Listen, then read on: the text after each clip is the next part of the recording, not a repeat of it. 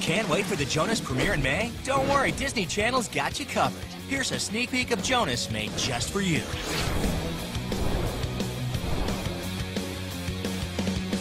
Dudes, I've got some bad news, and it has nothing to do with Stella's horrible sweater.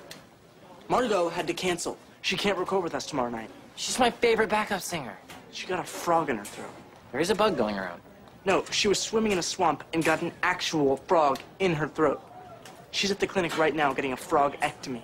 What are we gonna do? Malcolm Meckel's coming to watch us lay down track. Malcolm Meckel, the president of our record label? Yes, which means we need to find a replacement female backup singer fast. Incoming! Oh!